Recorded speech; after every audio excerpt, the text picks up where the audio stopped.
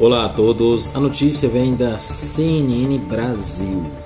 Produção industrial avança 1,1% em dezembro e fecha 2023 em alta, diz IBGE. A expectativa é, em pesquisa com economistas eram de alta de 0,3%, né? fechou em 1,1%. Né?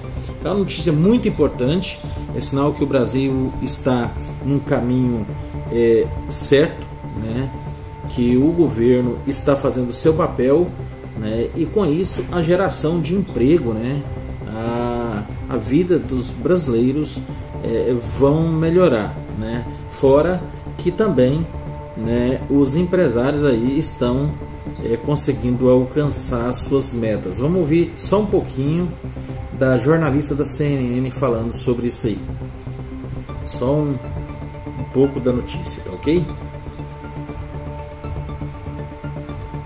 Essa notícia é muito importante. Produção industrial sobe 1,1% em dezembro, diz IBGE. Expectativas em pesquisa com economistas eram de alta de 0,3%. A produção industrial brasileira registrou alta de 1,1% em dezembro na comparação com o mês anterior, informou o Instituto Brasileiro de Geografia e Estatística, IBGE, nesta sexta-feira, 2. Na comparação com o mesmo mês do ano anterior, a produção subiu 1%. As expectativas em pesquisa da Reuters com economistas eram de alta de 0,3% na variação mensal e de 0,1% na base anual. Tópicos: IBGE, Instituto Brasileiro de Geografia e Estatística. Indústria, produção industrial.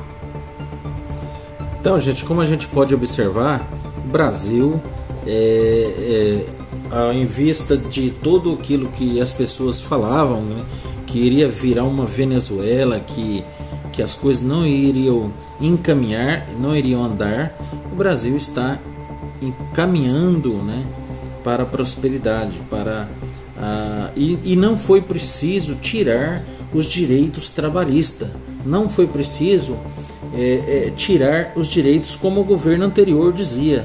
Mais trabalho, vocês vão ter que escolher mais trabalho e menos direito aí nós ia voltar na era da escravidão, né, há 200 anos atrás. Né? Então, não se pode mexer nas, nos direitos trabalhistas.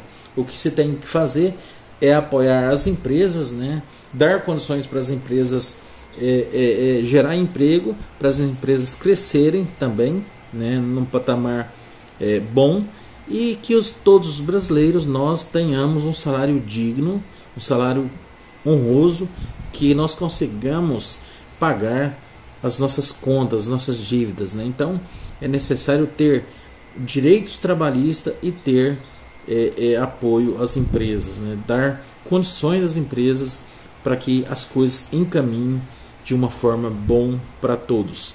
Então essa é a minha opinião.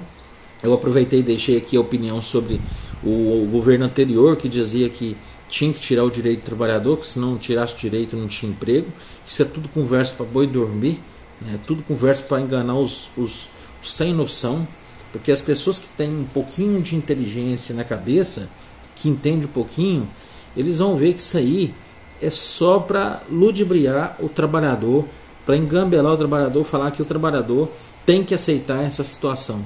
E nós brasileiros não precisamos viver uma era de escravidão. Isso já passou 200 anos. Né? Então nós temos que viver para frente, temos que progredir. E como as indústrias, as empresas estão progredindo, o trabalhador também tem que acompanhar essa progressão. Essa é a minha opinião.